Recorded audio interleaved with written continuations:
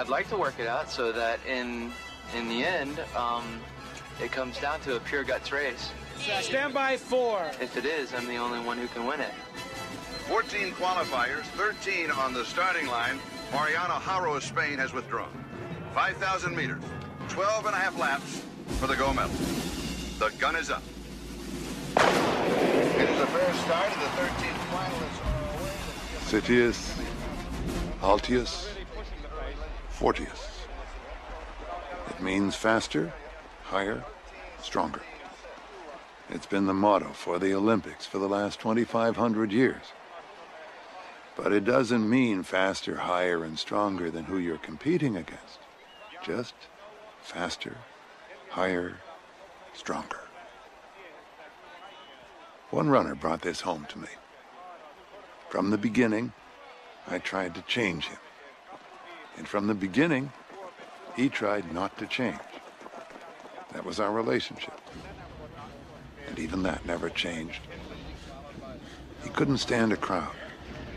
Always wanted to race out front from the start, like he was trying to get away from something.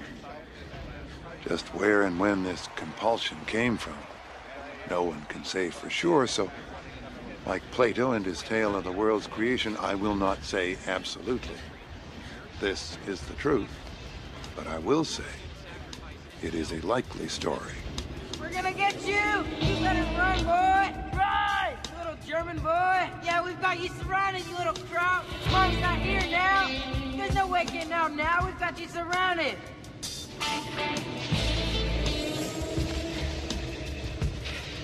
Get back here, you hiney!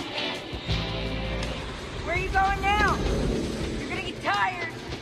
Mom ain't here now, boy, we got you right on your heel! You get him! Get back here!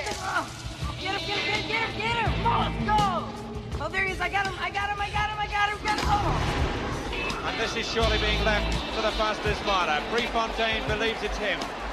So the American now committed.